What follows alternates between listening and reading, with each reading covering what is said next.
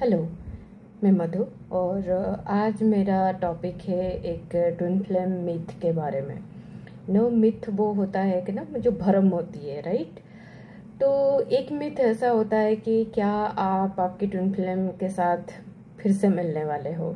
या हमको सिर्फ़ एक ही चांस मिलता है और एक ही बबल फ़ेज़ होता है राइट तो कहीं ना कहीं हमें ऐसा लगता है कि अगर एक ही बबल फ़ेज़ के थ्रू हम जा चुके हैं और उसके बाद वो डार्क नाइट ऑफ़ सोल्स के थ्रू गुजर रहे हैं तो ऐसा लगता है कि जैसे ख़त्म हो गया, इसके बाद और कोई अपॉर्चुनिटी नहीं है।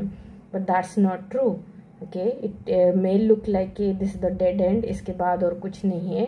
Because dark night of soul या सेपरेशन काफ़ी यू नो डार्कनेस से भरा होता है। बट जैसे जैसे आप हीलिंग करोगे God is going to bring both of you together again and again क्योंकि गॉड ने आप दोनों को एक दूसरे के लिए बनाया है।